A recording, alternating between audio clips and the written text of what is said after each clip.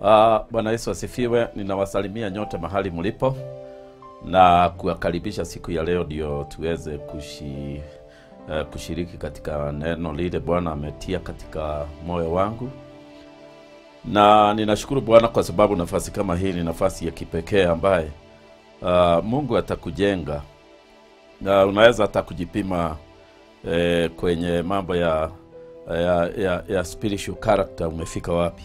Kwa hivyo leo nitaongea juu ya spiritual char- character.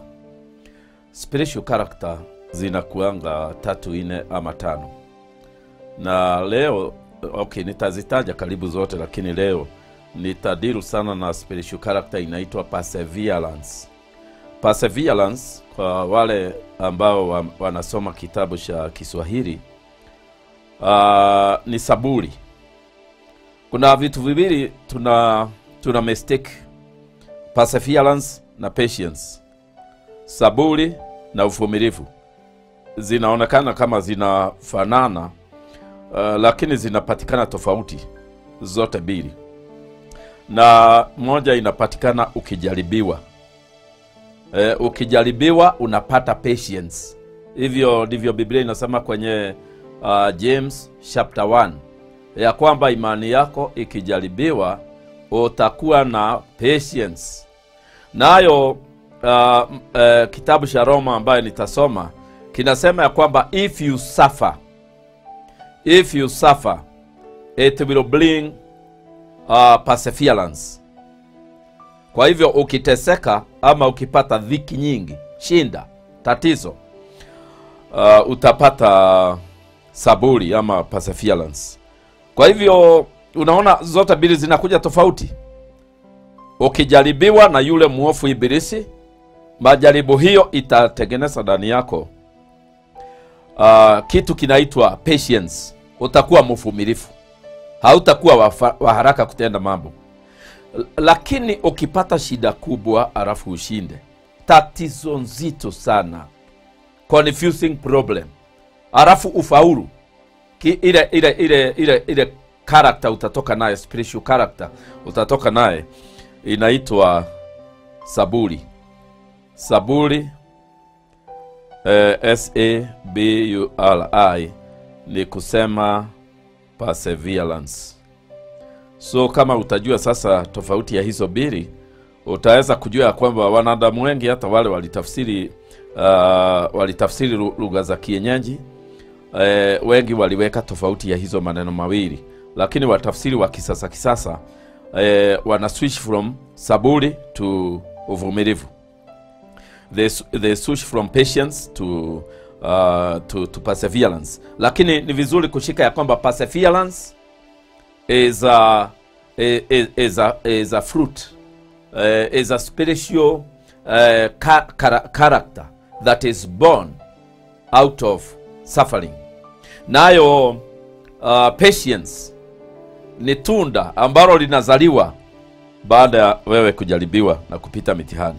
Kwa hivyo ukitaka kujua mambo ya patience, James chapter 1 inasema ya kwamba ufurahi wakati unajaribiwa, maana imani yako ikijaribiwa utakuwa na uvumilifu Na naye hapa kwenye kitabu cha Romans chapter 5 inatuambia ya kwamba eh, perseverance ama saburi inasaliwa na na shida. So hizi ni mambo mawili ambazo Mkristo huwa anapitia, na ningetaka kuongea na nyinyi kidogo, hata kama ninasoma bibilia E, niwaambie ya kwamba e, mara nyingi wakati mtu anapitia kwenye shida kubwa na anapitia kwenye majaribu, tunaweza kuona kama zinafanana, lakini shida haifanani na majaribu. Hii ni kumaanisha namna gani? Wakati unajaribiwa, kutakuwa na nguvu nyingi za kutaka ufanye vibaya, ufanye dhambi, ufuje, ufuje amri ya Mungu. Hiyo ni kusema I am passing through a time of temptation. Ninajaribiwa kutoka nje ya doa, ninajaribiwa kuua mtu, ninajaribiwa kuinukia my parents, ninajaribiwa. Yani majaribu huwa inakuja tufuje amri ya Bwana, inakuja ndiyo tufanye dhambi. lakini shida haikuji tufanye dhambi. Shida inakuja tu na haiendi, na hakuna kitu inakuadvise ufanye, na haiondoki, ila inakuwa isolate kwa watu polepole pole. Watu wale wanaweza kukusaidia, unaona hawataki kukusaidia, na hiyo ndio baadhi ya mambo yale ambayo ni vizuri Mkristo kuelewa ya kwamba ile shida unapitia saa hii ni vizuri kujua kama ni dhiki. Dhiki is a great problem ama ni temptation. Na of course nimekuambia vile unaweza kubabanua hii ni shida ama ni temptation, kwa sababu shida uh, ni kitu ambacho kimekuja eh, hakina njia ya kumalizika, hatuoni njia vile kitakwisha, na si necessarily kinataka nifanye dhambi, isipokuwa mimi mwenyewe nishague. Hakuna force yoyote iko kwangu nifanye dhambi, na mm, hii ni shida tu, haikuishi, inaenda inaenda inaenda, lakini kuna Eh, temptation. Eh, sasa tunaweza kusema hivi. Uh, kama corona ni temptation ambayo imekuja kwa watu wengi duniani ama ni shida, ni shida, lakini tukiwa attacked by our neighboring country, nchi ya jirani ifikirie kututadika, hiyo sasa itakuwa majaribu, kwa sababu tutajaribiwa kupigana, tutajaribiwa ku, kuua tutajaribiwa kuvuja amri ya Mungu. So wakati mtu anakuja anakuletea shida ambaye inataka ufanye vibaya, hiyo sasa ndio unaita nini? Unaita temptation. Lakini wakati eh, wakati eh, tatizo linakuja ila ni kukutesa tu, lakini alikusukumii ukafanya dhambi, eh, hiyo ni dhiki. Dhiki inalete perseverance, inalete saburi nayo uh, nayo eh, eh, majaribu inalete patience. Wacha kwanza niwasomee kidogo tu eh, dakika moja nikusomee James eh, nikosomee James chapter 1. James chapter 1 e, inasema nini? Uh, James chapter 1 tukiangalia kwenye mstari wa, wa hapa tu wa, wa mwanzo mwanzo ndio ndio tusimistiki hizo vitu viwili, ndio nimeona tu tuangalie hapo tuone. Inasema e, inasema ya kwamba mhesabu ni ni furaha tupu mkianguka kwenye majaribu mbalimbali. Wacha niwasomee kwa Kiingereza. Nasema ya kwamba consider it pure joy my brothers and sisters, verse 2 wherever you face trials of many kinds because you know that the testing of your faith produces perseverance produces uh, patience produces the ability not to uh, to run away from, from problems yani haukibii hau, hau shida unasifesi vizuri alafu ukiangalia kwenye kitabu cha um, Romans eh, hiyo nimesoma ni international version Romans chapter eh, Romans naye inatuonyesha kitu tofauti kabisa uh, inatuonyesha ya kwamba Mkristo kuna wakati inafika Romans chapter 5 anaingia kwenye matatizo, anaingia kwenye dhiki nyingi, kwenye shida kubwa. E, angalia mstari wa kwanza mpaka mstari wa, wa tatu wa nne hapo, tuone vile inasema. Basi tukisha, inasema basi tukiisha kuhesabiwa haki itokayo katika imani, na muwe na amani na, na Mungu kwa njia ya Bwana wetu Yesu Kristo, ambaye kwa yeye tumepata kwa njia ya imani kuifikia neema hii ambayo mnasimama ndani yake na mfurahi katika tumaini la utukufu wa Mungu. Wala si hivyo, 3, ila na mfurahi katika dhiki pia. Biblia inasema tufurahi katika dhiki, shida kubwa, mkijua ya kuwa dhiki kasi yake ni kulete saburi. So dhiki, tunajua majaribu inaletanga patience, lakini dhiki ambaye ni shida kubwa inaletanga saburi. So hizi majina huwa zinakuwa interchanged na everybody na nimesema kama hiyo sasa, nimesema soma New International Version, ni tafsiri ya, ya hivi karibuni. Unaona imeinterchange jina perseverance na, na, na jina patience, na tunajua ya kwamba mtu akiwa anajaribiwa. Anatakikana ajue hii jaribu likikwisha, nitakuwa very patient in the future, na hii shida naye imenikuta, hii shida ikiisha nitakuwa mwenye saburi. Sasa saburi is one of the yani perseverance ni one of the spiritual characters ambaye mtu anatakana awe naye. Na kabla sijaenda kumpatia e, mfano wa wa Jacob. Maana ningependa kumpatia hiyo mfano wa e, mtumishi wa Bwana Jakubu katika Biblia.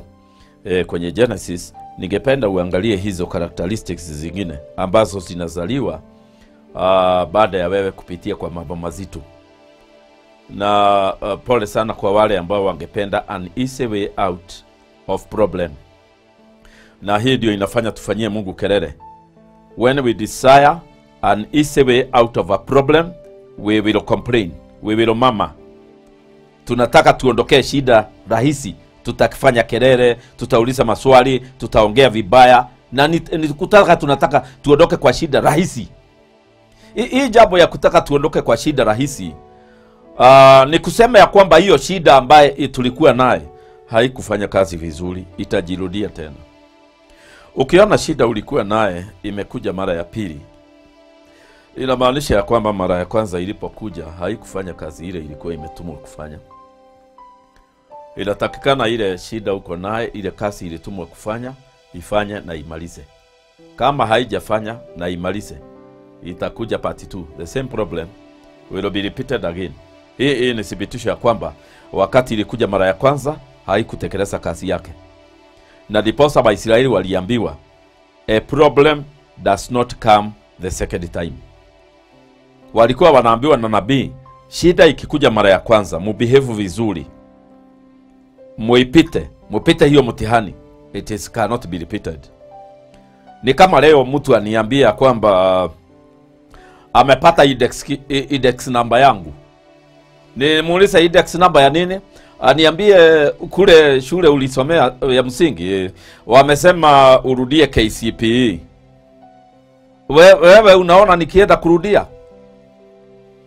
nitawaambia sitakuja na sitakuja kwa sababu hiyo mtihani nilipita na nikaitwa secondary. Sasa ninairudia ni- niitwe wapi?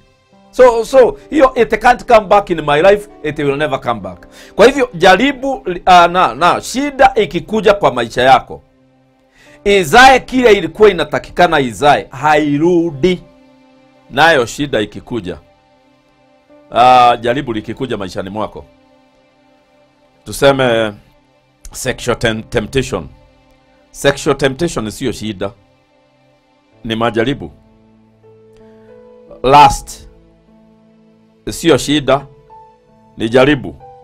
Coveting other people's things. Ni jaribu.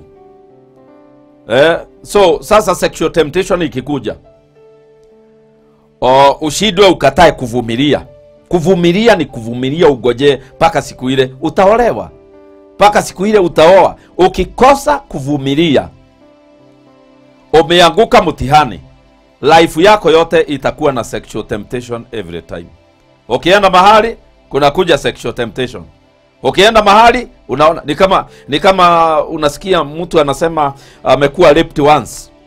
Ame, msichana anasema ameshikwa na nguvu na na mtu alafu anakwambia kila wakati anatakaga kushikwa na nguvu. Hata kuna siku nilienda kwa mhubiri akataka kunishika na nguvu. Yaani kila mahali anaenda hii kitu inamfuata. So ukiona unafuatwa na kitu sana uh, ni kusema ya kwamba kilipokuja mara ya kwanza eh, kuna failure ilifanyika. Eh, kama jaribu la rape biblia inasema mwanamke atapita namna gani? Haisemi mwanamke apigana na mtu.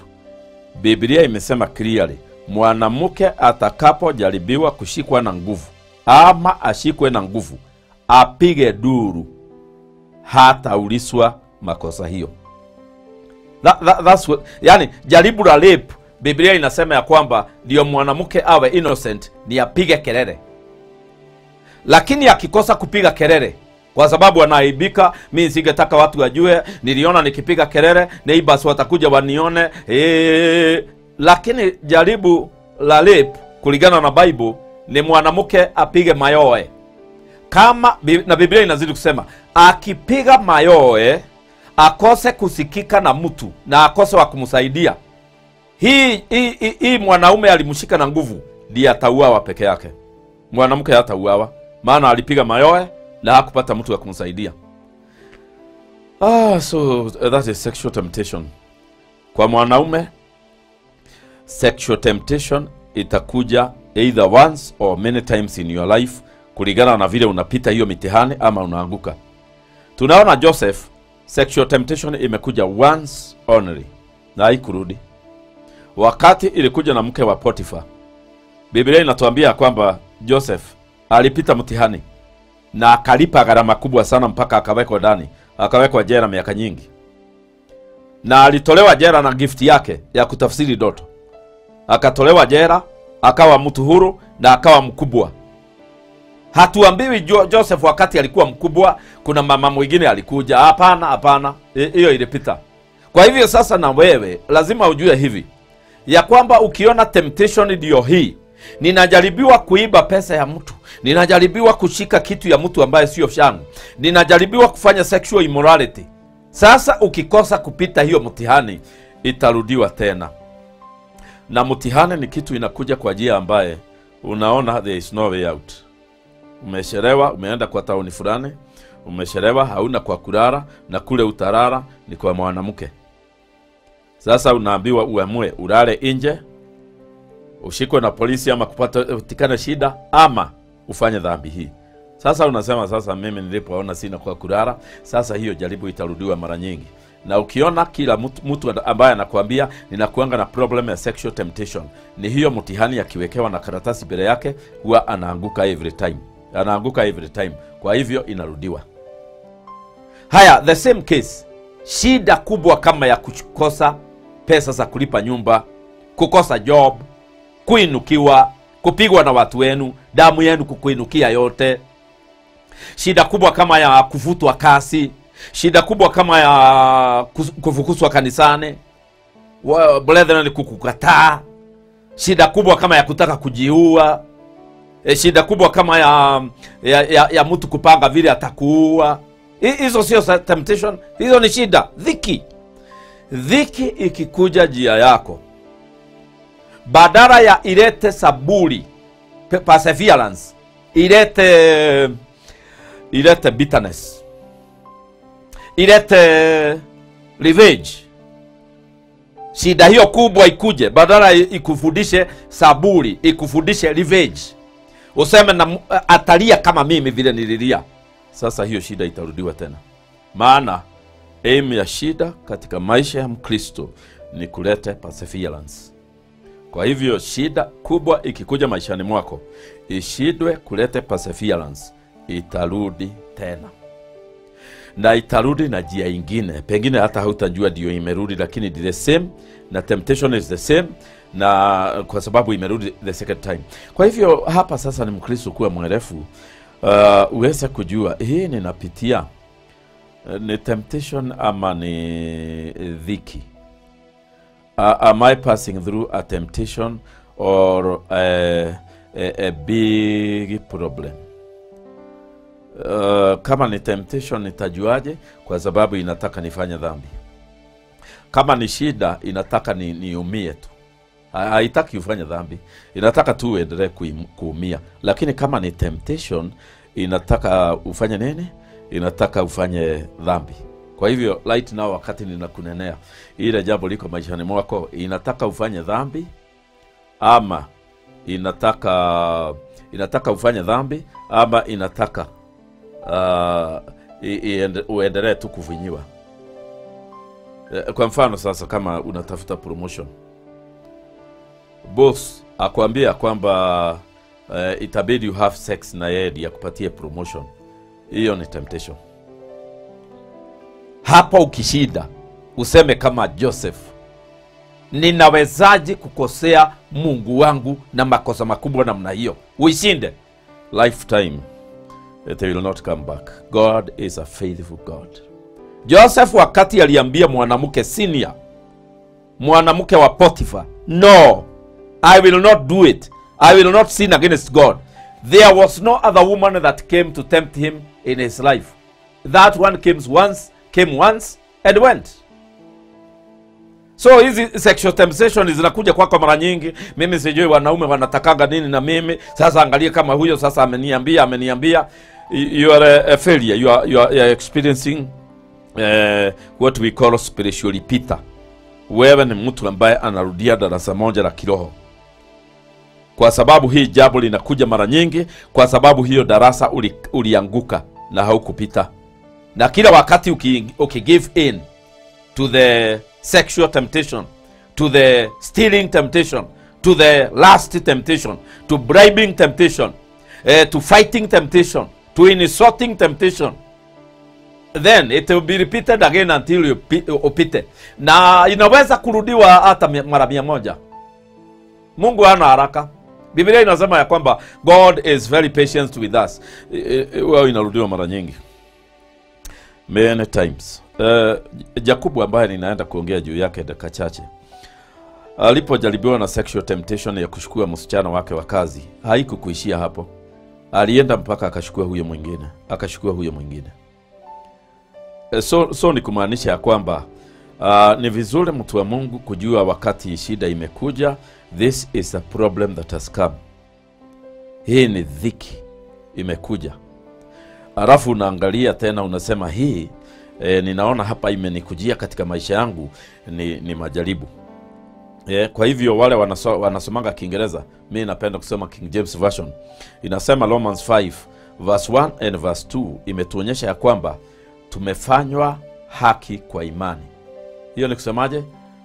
Umekuwa hauna dhambi kwa sababu ya faith. Kwa hivyo ukiwasha faith unarudi kuwa a sinner 100% imani ukiamini mungu unakuwa clear. Na eh, u- u- u- u- ukisha kuwa justified justified ni kusema unasemekana hauna makosa na ulikuwa na nyingi lakini mungu anakuambia hauna makosa. Hiyo ni justification. Alafu unakuwa na amani na mungu kupitia kwa kristo yesu. So immediately ukiambiwa umesamehewa dhambi zako kwa sababu umeamini yesu unasikia hapa kwa kifua peace amani kubwa. Alafu hiyo peace tukisha kuwa naye katika yesu kristo verse 2 inasema by whom also we have access? By faith. Sasa kuanzia hapo unakuwa na access. Access ni kusema njia ya mkato ya kwenda kwa mungu. Una, una, unaona jia clear. Kajia kametengenezwa mahali kakukwa na njia unakuwa na access uh, by faith into his grace. Wherein we stand? Na kuanzia hapo sasa unafurahia tumaini la utukufu wa mungu yaani unakuwa badala ya kugojea kwamba mungu atanijaji mimi sijui nitafanya namna gani lazima nitamalizwa. Unakuwa sasa na hope ya kwamba you'll be saved. Uh, again sasa kuanzia verse, verse 3 inasema not only so na sio hivyo peke yake but we glory in tribulations. Tribulation ni shida ibaye imepita shida ya kawaida mpaka jirani wanakuuliza hai ulifanya mungu nini ha, hata sisi tunakuaka na shida lakini si kama hii yako ya kukula nyasi baada uh, ukakosa chakula ya kukunywa maji eh? inaita tribulation na, na tribulation haizuii ufanye miujiza uh, kuna uh, mdada nilikuta kwake kwa nyumba akaniambia uh, ame, ameombea maji eh? Uh, siku hizo sasa tulikuwa tunakutana kushare special miracles. Ukisimama kusema nilikuwa naumwa na mguu ikawasha tunakwambia tafadhali keti chini. We are sharing special miracles. Kuna dada alishare akasema mimi sikuwa na chakula. Leo mungu amenibariki niko na chakula lakini sikuwa na chakula. Niliweka maji kwa moto. Nikaambia watoto nitawapikia ugali ya maji. Watoto wake walikuwa hapo na ni wengi. Ha, hakuna bwana hakuna usaidizi ha, hakuna shamba akapika maji. Maji ikaanza kuwa thick kama ugali. Walikula maji na kijiko. Unakata hivi kama ugali. Sijui ni kifuga masho kani walifanywa ama ni nini mungu alifanya maji lakini walikula maji kama walikuwa wanakula na kijiko wanakata kama ugali wanakula. He, na watoto wakashiba sana. Akaniambia mimi kila nimeona nimechemsha maji nikiendelea intercession na tongues nikiomba. Maji nikaona nikiingiza kijiko inashindwa kuingia mpaka nifinyirie. Nikawambia ugali ya maji ndiyo hii. Akawapikia. We la, lakini naye hiyo inapatikana. Miujiza kama hiyo haipatikani kwa wewe umejaza ugali kwa nyumba. E, kwa wewe ambaye pesa uko nazo hata mpesa imejaa. Aa, hii, hii miujiza ni ya those in tribulation. Tribulation ni shida ambaye imepita shida ya kawaida na na hiyo shida ya kawaida ukiwa naye i- wake the inaleta saburi. Of course hapa kuna e, mchanganyiko hiyo ya e, mara hii biblia inaiita perseverance hii ingine inaiita patience. Hiyo hiyo isikutishe hata. E, bora tu uelewe vile nimezigawanya ya kwamba majaribu inaletanga patience. Naye tribulation shida kubwa dhiki inaletanga e, saburi saburi ni perseverance. Uwezo wa kung'eng'ana na shida mpaka mwisho bila wasiwasi. Unasema hii shida ni yangu na ilikuja kwangu nitaenda naye mpaka mwisho. Hii shida ya kupata mtoto iji ya doa na mwingine na mwingine niko na watatu na nimeokoka sasa. Yesu ni bwana nitang'ang'ana naye mpaka hii watoto wawe wakubwa. Hiyo ndio sasa inaitwa perseverance perseverance ambayo imezaliwa na shida inakupatia motisha ya kwenda na hiyo shida mpaka ha- mahali itakuishia. Shida inakaa kama desert. Ukienda sana utakuisha, utakuta imefika mwisho. Maji imeanza ama imeanza green. So so so perseverance ni ile uwezo wa una una standi shida yako unaona hii si jaribu hata haitaki nifanya dhambi ni kunitesa tu ni kufanya nilie kila jioni inafanya niumie sana. Lakini mu- ambaye anakuambia eh, ya kwamba hii shida imenikuta. Kuna mwanaume ananiambia kila siku nikienda tu nilale kwake siku moja hii shida atanimalizia. Hiyo sasa imekataa shida. Hii sasa ni temptation imekuja kwa huyu mwanamke. Maana hata ameambiwa amepewa ripoti na mtu mmoja hajaokoka wa ibilisi message wa kule amemwambia hii shida ukilala kwangu siku moja itakwisha. Hiyo ni message ume, ume, umepokea kutoka kwa yule ameleta hiyo temptation. Kwa hivyo hiyo ni temptation. Shida haikuangi na ripoti yoyote. Uh, uliza watu habari ya corona. Kuna ripoti yoyote imekuja na corona? Watu wote wanasema mungu anasema nini? Mbinguni inasema nini? Sasa itasema nini na ni shida imekuja duniani? Hii ni shida. Shida haikuagi na maripoti. Ile kitu inakuanga na stories. Ni temptation pamoja na jaribu linakuja njia ya kutorokea. Lakini hakuna mahali imeandika pamoja na shida kuna njia ya kuepuka. Shida inakuja unang'ang'ana naye mpaka unafika the end. Oh this is now the end of my problem. Eh, imefika mwisho eh. god uh, thank you. Hii ndio jera ya, ya wakati eh, eh, joseph wakati alikuwa jera. Hakuna message alipewa. Mungu akuja huko kwa jera akamwambia joseph Um, I know you are here because you defeated a temptation, so don't worry. Uh, I am doing something. Ah, hakuambiwa kitu. Heavens was quiet. Hata wakati ali, ali, aliomba tafsiri doto ilikuwa ni watu wengine walisugumusiwa, yeye hakuota, ni wengine waliota. Akatafsiria na akawaambia, na mkienda kwa mfalme mumwambie niko hapa na ni mimi nimewasaidia. Na Biblia inasema wakati walienda walisahau maana ile Joseph anapitia ni shida na, na shida haikuangi na message. Ndio unaona hata watu wakisema Mungu amesema korona itaisha mwezi huu tarehe tano, i- inakataa, maana ni shida.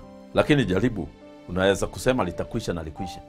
Unaweza kusema hii jaribu mwezi huu, hii jaribu mimi sitakuwa naye na ikwisha. Na shida inaweza kuja kwa eh, kwa family, muwe muna shida kwa nyumba, hamusikizani lakini hamutishani. Anasema mimi don't understand you, hata mimi sikuelewi. Mnaongea mnaongea mnaongea, mnakaa tu. Sema, unajua hatuelewani, lakini we are still pushing on. Lakini kuna watu ambao wanakutwa na the same problem na ni temptation, hawaelewani nao, wanaambiana nitakuua, naye anamwambia jaribu. Na mimi nikuue. Hey, unaona sasa jaribu lao linataka wa, wa killers. Sasa sasa lazima washinde. Hiyo jaribu, wakishinda watapata patience na patience ndio inafanya nyumba isimame. If you want your family to overcome it is patience. Perseverance naye wakati inakuja katika maisha yako inamaanisha ya kwamba sasa utaenda gasi ya pili. Washa tuone gasi ya pili ya ya ya, ya nini? Ya spiritual character. Hiyo ndiyo topic ya leo. Spiritual character. Dutch perseverance. Eh, eh, kulingana na na, na verse, verse 4 ukipata kitu kinaitwa patience ama perseverance kulingana na uh, today's english it will give you experience. You see sasa hatujaangalia kule kwa james. Mtu akipata patience baada ya kujaribiwa uh, anapata nini? Biblia inasema anapata nini? Uh, anaingia kwenye eneo za imani na wisdom. Ndiyo Biblia inasema kule kwenye James, ukishinda majaribu unakuwa ushered into beautiful rooms of wisdom and faith. Unaoperate faith, watu wanashindwa unafanyanga nini? Hawajui ya kwamba kuna majaribu ilikuja ukapita. Majaribu ikikuja lazima upite, ukikosa kupita eh, sasa eh, unajaribiwa kila mara. So, so Romans 5 eh, ndio nimefika verse 4 inatuambia ya kwamba perseverance inaleta nini kwa maisha eh, what does uh, persevere if, if we persevere what will we have? Eh, inasema um, eh, inasema eh, perseverance brings character. Character kwa King James Version inasema patience brings uh, experience. Experience na character ni vitu vinaenda kufanana.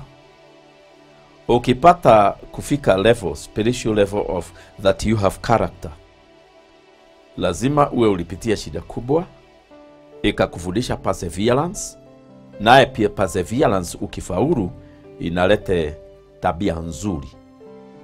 Character inalete experience.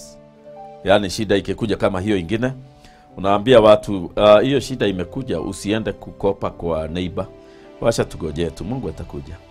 Ai na sasa tutafanya we ngojea tu mungu atakuja hiyo ni kusema mwenye kusema hivyo sio imani yako naye nyingi. Ako na kitu kinaitwa experience. Experience ndio inafanya ujue kuishi na watakatifu. Experience ndio inaleta tabia mzuri. Unajua kuishi na wanawake bila eh, kuwasubua mfanye dhambi. Unajua kuishi na wanaume bila kujipeana kwao. Maana uko na karakta eh, wewe kama ni mwanamke ambaye hana karakta utaona ya kwamba unafaa nguo ambazo zinasema I am available unafaa uso ambaye macho ina, inasema ya kwamba uh, niko ni tayari kurespond to, to whatever you say. Unajua kuna macho unaangalia mtu naye unaambiwa keep off. Lakini kuna macho ya kukwambia welcome welcome. Sasa hizi vitu zote zinaletwa na na perseverance. It brings character. Na na na, na nasema hivi ndio tuweze kujua ya kwamba hizi ndio characters ambazo unapokea wakati unajua kutembea na mungu. You get into you get spiritual character eh, tabia nzuri ya mtu wa rohoni. Uh, na, na biblia inasema hapa ya kwamba eh, after patience uh, after uh, perseverance uh, then you climb the next level. It is level of character or experience. Uh, after experience uh, then the bible speaks about hope. Hope. Na of course nina interchange biblia ya king james version na international uh, experience. And experience brings hope.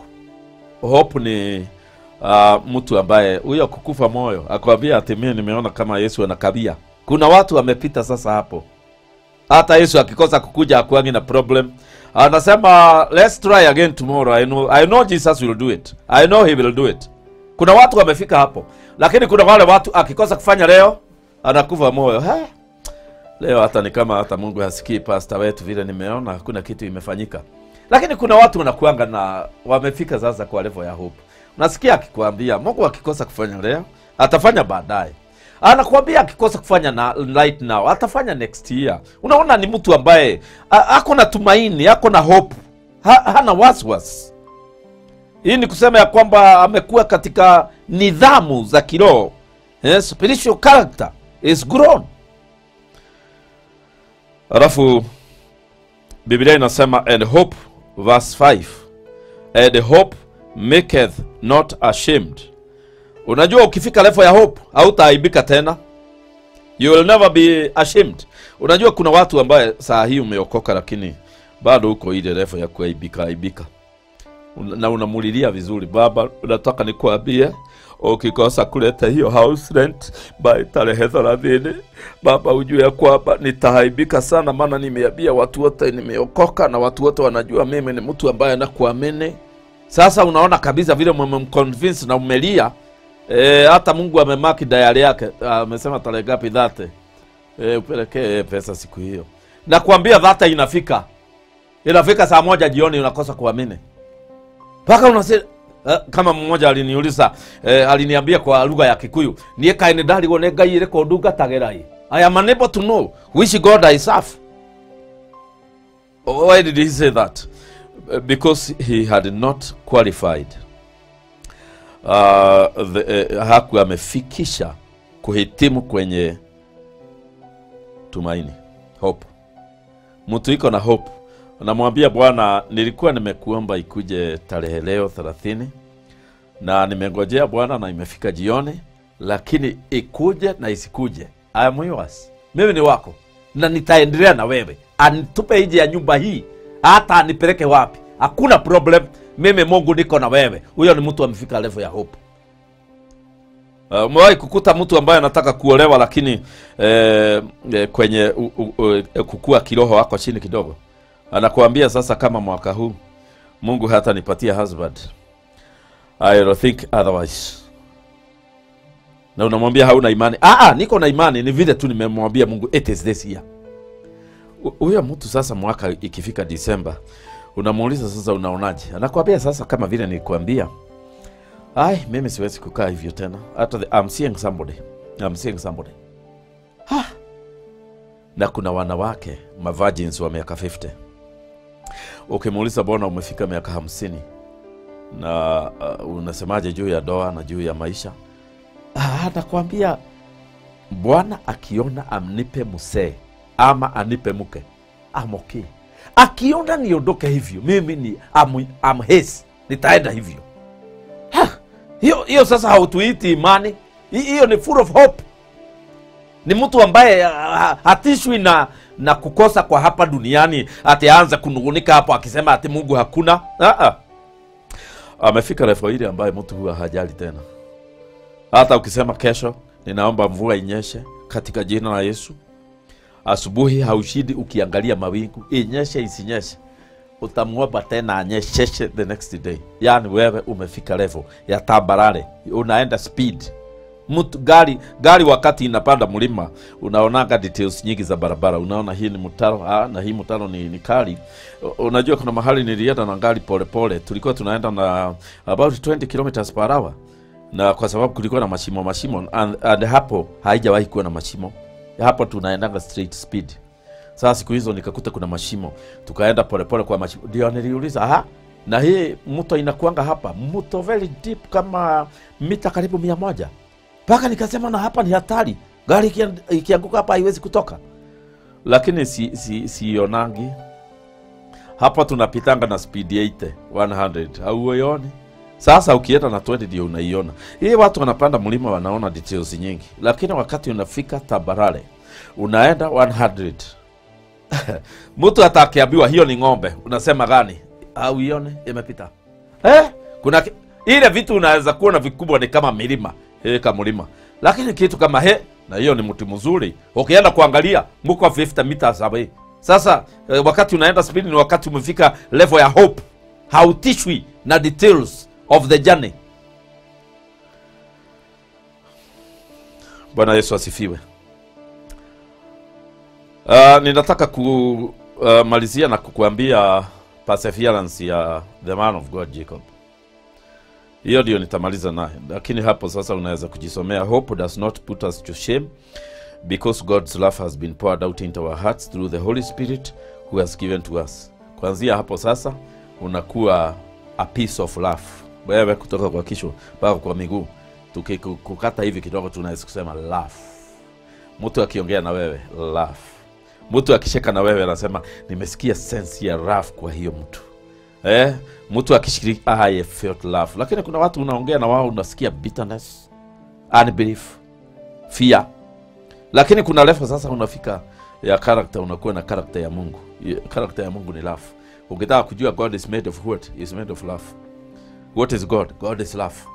Kwa hivyo sasa maturity stage ni love usiambiwa na mtu ati maturity stage ati ni, ni anointing ati ukiwekelea watu mikono wanaanguka chini ukitupia watu anointing wanaanguka chini. Hiyo sio maturity rafu, hiyo ni, ni, ni, ni, ni mambo ya utendakazi lakini maturity ya, ya christian ni ukimkata kidogo ni love ukienda kwake kwa kazini unasikia tu the aroma of love. Eh? ukiongea na yeye love ukiuliza wife yake love ukiuliza watoto wake mapenzi love na na zote zinaanzishwa na nini? Perseverance. How do we get perseverance? Tribulation. Na pande hii ingine e, ili ufike level ya wisdom na level ya operation of faith. Uh, lazima uanze na majaribu. Majaribu ukipita mitihani yake unakuwa na patience. Can you look at genesis chapter 32 genesis 32 uh, tuone vile biblia inasema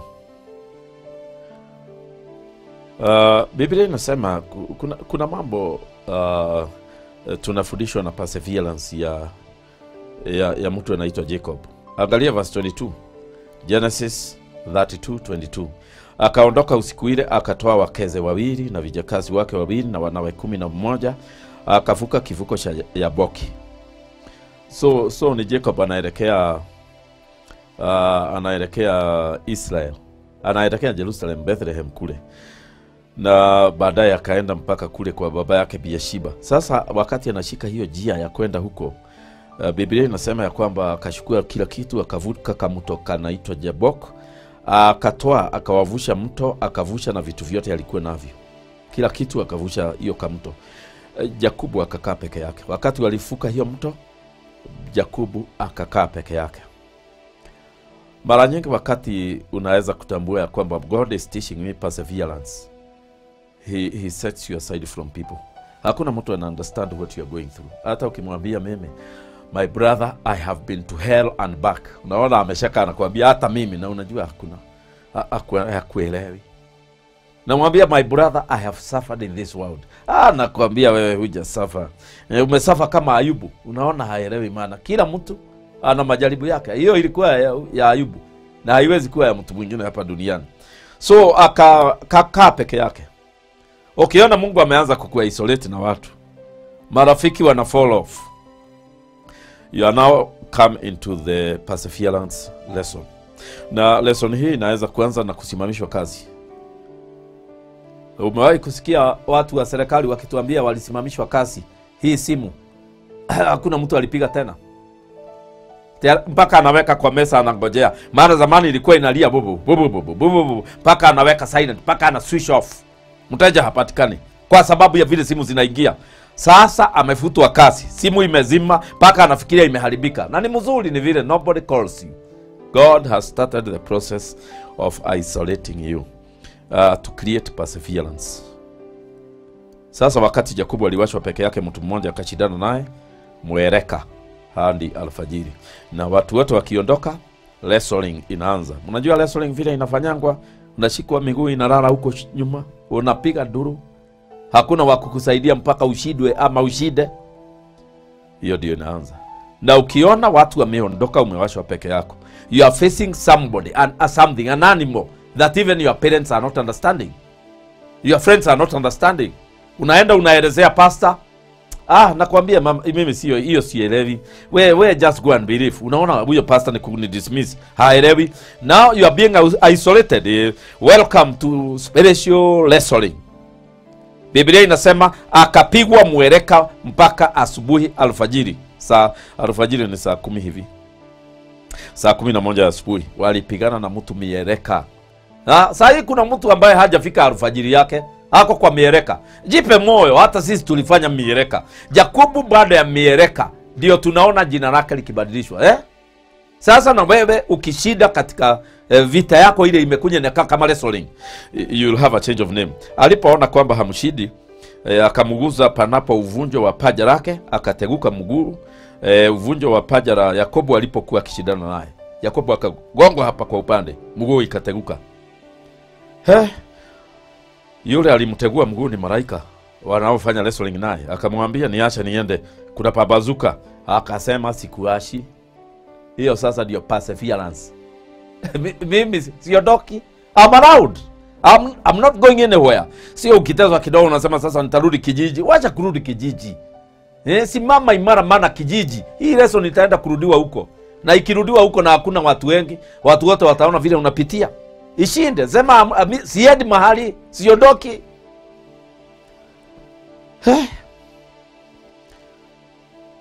Uh, Biblia inasema akamuuliza jina lako ni nani? Yakobo akasema Yakobo. Akamwambia jina lako hutaitwa tena Yakobo ila Israel, maana umeshindana na Mungu na watu na wewe umeshinda.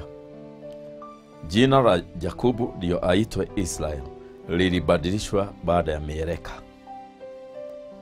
Ni vizuri ujue hivi, kama unataka Mungu akupatie a new face in life, lazima upite mitihani yako na diposa nimesema leo ninaongea habari ya karakta ya kiroho, tabia za mtu wa rohoni, kwa sababu ukianguka mitihani hii utakuwa unaopareti na jina lako la zamani, na unajua vile lilishidwa ndio ukuje kuokoka ni jina hilo lilikusubua. Sasa umeokoka, unaopareti na hilo jina, kwa sababu naye mieleka yako hautaki kuelekea peke yako. Unaanza kutisha watu, utawaletea nini, utafanya nini, utaua mtu mpaka Mungu anaondoa jaribu. Tena ukimwambia baba, nataka kukaribia, linaletwa tena. E, ako tayari mieleka. E, malaika anatumwa, mpelekee hii shida, inakuja. Ah, unaleta shida mpaka unasema nitajiua, eh, nitakufa mimi. Ah, mimi nitaenda jera, nitaiba kitu ya mtu hata niende jera. E, jaribu linaondolewa Alafu lina sasa unarudi kuuliza Mungu, shida yangu mbona haikwishi? Mbona shida inaru, unarudia rudia kwa sababu umekosa kupita. Mungu awabariki. Najua mtu wa rohoni amepata kitu hapo, na umepata tofauti ya saburi ambaye ni perseverance na uvumilifu ambaye ni patience. Uvumilifu inaletwa na majaribu, saburi perseverance inaletwa na shida kubwa. Mungu akubariki. Wacha nikuombee. Baba, katika jina la Yesu naombea mtazamaji mahali popote amenitazama umubariki na watu wale Baba nimesungumusia leo, ni watu wanakupenda, ni watu wananisapoti kwenye hii kazi yangu, ni watu ambao Bwana wametia bidii kuona ya kwamba neno lako limefikia watu wengi, na wao wakisikiliza hii mahubiri uwaondoe kwenye revo za perseverance na patience, uwaingize sasa kwenye ufanisi wa maisha ya Ukristo. Katika jina la Yesu nimeomba na kuamini, amen.